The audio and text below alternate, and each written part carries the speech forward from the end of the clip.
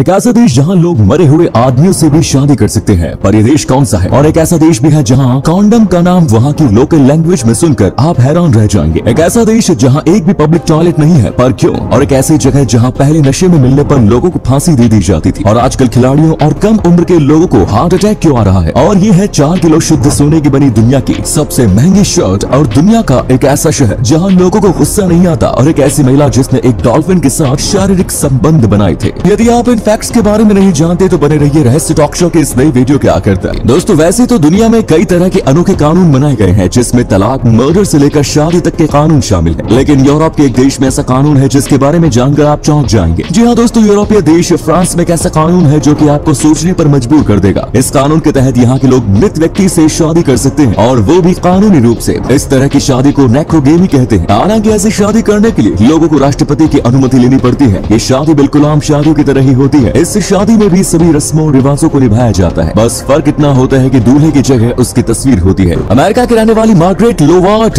उन्यासी साल की है और वो एक फॉर्मर नेचुरलिस्ट है। कुछ सालों पहले उन्होंने एक चौंका देने वाला खुलासा किया था। मार्गरेट ने बताया था की उन्होंने 20 साल की उम्र में एक डॉल्फिन के साथ सेक्स की। असल में 1960 के दशक में नासा ने एक प्रोजेक्ट की शुरुआत की थी, जिसके ज़रिए वैज्ञानिक डॉल्फिन ऐसी बात करने और संवाद स्थापित करने की कोशिश कर रहे थे। इस प्रोजेक्ट के तहत डॉल्फिन को बात करने की कला सिखाकर उनसे कम्युनिकेशन स्थापित करना था, जिससे उनके बारे में ज़्यादा जानकारी मिल सके। मार्ग्रेट ने इस प्रोजेक्ट के प्रमुख से सिफारिश करके खुद का नाम भी लिखवा लिया और करेबियाई आइलैंड सेंट थॉमस पहुँच गई मार्ग्रेट ने बताया कि वहाँ तीन डॉल्फिन थी। एक नर डॉल्फिन था पीटर और दो मादा डॉल्फिन थी पैमेला और सिसी मार्गरेट ने बीबीसी को दिए अपने एक इंटरव्यू में बताया कि पीटर काफ़ी शरारती था और वो उम्र के उस मोड़ पर था जब उसके शरीर में कई प्रकार के बदलाव हो रहे थे। इस पूरे एक्सपेरिमेंट के दौरान मार्गरेट और पीटर में काफ़ी अच्छे संबंध स्थापित हो गए थे। पीटर को अच्छा नहीं लगता था जब मार्ग्रेट बाकी दोनों डॉल्फिन के साथ वक्त गुजारती थी। वो पीटर को अंग्रेज़ी के अक्षर सिखाती थी। दोनों की ये बॉन्डिंग काफ़ी गहरी होती चली गई। और मार्गरेट के अनुसार पीटर को उनसे प्यार हो गया। हसलर मैगजीन में प्रकाशित रिपोर्ट के मुताबिक पीटर मार्गरेट के पास जाकर यौन उत्तेजित हो जाता था, जिस पर उन्होंने कई बार उसके साथ संबंध बनाए। उनके लिए भी वो पल बहुत ही कीमती था। जब दोनों संबंध बनाते थे, मार्गरेट को कुछ ज़्यादा अच्छा महसूस नहीं होता था। उन्हें सिर्फ़ खुजली जैसा प्रतीत होता था। कई बार उनके शरीर पर सेक्स के दौरान खरोचे भी आए। कुछ दिनों बाद मार्गरेट वहाँ से चली गई तो पीटर ने आत्महत्या कर ली। प्रोजेक्ट में शामिल लोगों ने बताया कि डॉल्फिन को सांस लेने के लिए नियमित रूप से सतह पर आना पड़ता है, लेकिन पीटर नहीं आया। ऐसे में साफ़ हो गया कि उसने खुद जान दी थी। गुस्सा इंसान का सबसे बड़ा दुश्मन होता है, लेकिन फिर भी इंसान इससे बच नहीं पाता।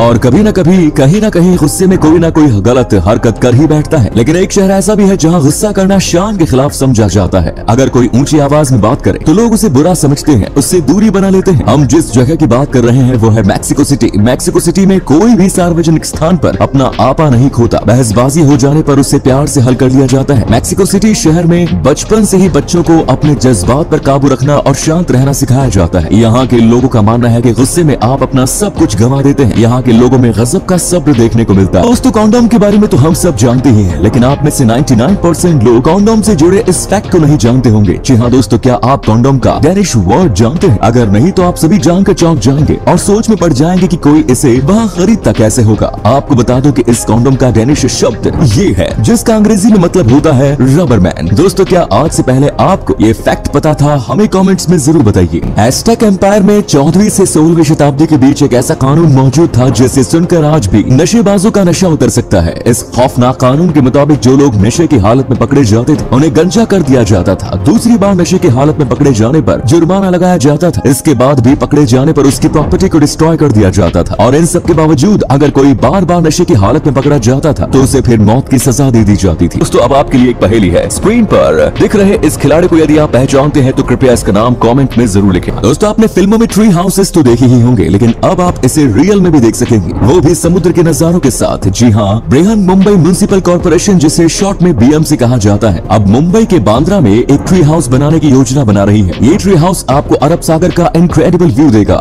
ये ट्री हाउस दो मंजिला होगा। जो लोग समुद्र के नजारे के साथ छुट्टी का आनंद लेना चाहते हैं, उनके लिए ट्री हाउस का ये नेक्स्ट लेवल की संतुष्टि देगा। दोस्तों, किसी न किसी चीज़ से डर सबको लगता है, मगर जब ये डर सामान्य से ज़्यादा हो जाए तो इस पर गंभीरता से सोचने की ज़रूरत है। दोस्तों, चेरोफोबिया भी एक ऐसी ही बीमारी है जो डर और भय के साथ जुड़ी होती है। इसमें पीड़ित व्यक्ति को खुश होने से या मज़ा आने से डर लगने लगता है। इसमें जब डर ज़रूरत से ज़्यादा बढ़ जाता है तो वो मानसिक विकार का रूप ले लेता है। दोस्तों, टॉयलेट जाना हमारी रोज़मर्रा ज़िंदगी का एक अहम हिस्सा है, और नेचुरल कॉल कब आ जाए, ये किसी को नहीं पता। इसी को ध्यान में रखते हुए हमारे देश की सरकारें भी लोगों की सुविधा के लिए जगह जगह सार्वजनिक शौचालय बनवाती है। लेकिन आज हम आपको एक ऐसी जगह के बारे में बताने जा रहे हैं, जहाँ सार्वजनिक शौचालय नहीं होते। जी हाँ दोस्तों, आपने बिल्कुल सही सुना, पेरू देश में सार्वजनिक शौचालय नहीं होते। दोस्तों, क्या आप जानते हैं की दुनिया में एक ऐसी भी जगह है, जहाँ अगर आपको मैथ नहीं आती तो लॉटरी विजेता बनने के बाद भी आपको एक फूटी कौड़ी भी नहीं मिलेगी। जी हाँ कैनेडा के लॉटरी विजेताओं को अपनी जीत का दावा करने ऐसी पहले कैलकुलेटर का उपयोग किए बिना मैथ के एक क्वेश्चन को सॉल्व करना होता है। बिना मैथ के क्वेश्चन को सॉल्व करके उन्हें लॉटरी में जीता एक भी रुपया नहीं मिलता। सोने से बनी कई सारी चीज़ें आपने देखी होंगी, लेकिन क्या आपने सोने से बनी शर्ट देखी है? ये है सोने से बनी शर्ट जो कि दुनिया की सबसे महँगी शर्ट है। इस शर्ट को महाराष्ट्र के बिजनेसमैन पंकज पारख ने बनवाया है। सोने से बनी इस शर्ट का कुल वज़न 4.10 किलोग्राम है, और इसकी कुल कीमत है एक करोड़ तीस लाख रूपए। ये शर्ट फुली फ्लेक्सीबल स्मूथ और कम्फर्टेबल है। साथ ही ये वॉशेबल भी है, और इसकी लाइफ टाइम गारंटी भी है। दुनिया की सबसे महँगी शर्ट के रूप में इसका नाम Guinness book of world record में भी दर्ज हो चुका है। इसी कमाल के फैक्ट आरोप प्लीज़ वीडियो को लाइक कर दीजिए। दोस्तों, पिछले दिनों कई मशहूर सेलिब्रिटीज हार्ट अटैक की वजह से अपनी जान गवा चुके हैं। ऐसे में कई बार हमारे मन में ये सवाल उठता है कि आखिर कैसे एक चलता फिरता फिट और फाइन इंसान यूँ अचानक हार्ट अटैक का शिकार हो सकता है? अगर आपने भी कभी ये सोचा है तो बता दें कि इसकी वजह है मेंटल स्ट्रेस जी हाँ दोस्तों, आप टेंशन को हल्के में लेने की कोशिश बिल्कुल न करें। जब इंसान ज़्यादा टेंशन में होता है तो उसके शरीर का ब्लड गाढ़ा होने लगता है, जिससे शरीर में खून के थक्के जमने के चांस रहते हैं। ऐसी स्थिति में दिल में ब्लड का सर्कुलेशन कम हो जाता है और इससे हार्ट की मसल्स को पर्याप्त ऑक्सीजन नहीं मिल पाती। और यही कारण है कि जो लोग ज़्यादा टेंशन लेते हैं, उन्हें हार्ट अटैक आने के चांसेस कई गुना ज़्यादा बढ़ जाते हैं। दोस्तों, अक्सर जब हम में से कोई रिलेशनशिप में रहता है तो उस दौरान फाइट होना लाजमी होता है। ऐसे में इस दौरान कई बार फाइट इतनी ज़्यादा बढ़ जाती है कि गर्लफ्रेंड या वाइफ खुदकुशी करने की धमकी देने लगती है। अगर आप भी ऐसी प्रॉब्लम्स को फेस कर रहे हैं तो आप इन प्रॉब्लम ऐसी छुटकारा पाना चाहते हैं। तो हम आपको बता दें की आप चाहे तो आईपीसी धारा 503 और 506 के तहत उन पर केस दर्ज कर सकते हैं। दोस्तों, ये तो आप सभी जानते ही होंगे कि अल्जीरिया की जनसंख्या का 97.9 परसेंट हिस्सा मुस्लिम आबादी का है। पर क्या आप ये जानते हैं कि अल्जीरिया में महिलाएँ एक आर्थिक और राजनीतिक ताकत के रूप में उभर रही हैं, जो अरब दुनिया के बाकी हिस्सों में अनसुनी है? अल्जीरिया के वकीलों में 70 परसेंट और उसके न्यायाधीशों में 60 परसेंट महिलाएँ हैं। यहाँ पर महिलाओं का दबदबा है। यहाँ घरेलू आय में पुरुषों की तुलना में महिलाओं का योगदान तेज़ी ऐसी बढ़ रहा है। यहाँ के विश्वविद्यालय में 60 परसेंट स्टूडेंट्स महिलाएँ ही है। इसके अलावा भी कई बड़े बड़े पर्दों पर भी महिलाओं का ही कब्जा है। दोस्तों आप में ऐसी शायद ही कोई ऐसा हो जो कभी लिफ्ट में नहीं चढ़ा हो। कई बार लिफ्ट में चढ़ते समय हमारे माइंड में ये ख्याल तो ज़रूर आता है कि कहीं एलिवेटर टूट न जाए। अगर आपके दिमाग में भी ये ख्याल आया हो तो आज हम आपको इसके डर को पूरी तरह से दूर कर देंगे। आपको बता दें कि कोई भी लिफ्ट आमतौर पर छह से आठ एक्शन केबल्स द्वारा जुड़ी होती है, और प्रत्येक इंडिविजुअल केबल लिफ्ट का पूरा वज़न और साथ में 25 परसेंट तक अधिक वज़न उठा सकती है। इसलिए दोस्तों लिफ्ट में चढ़ना आपके लिए पूरी तरह से सुरक्षित है। दोस्तों, राज़ी अवार्ड के बारे में तो आपको पता ही होगा कि अवार्ड किसी भी एक्टर को उनकी खराब भूमिका के लिए दिया जाता है। 2004 में हॉलीवुड की एक्ट्रेस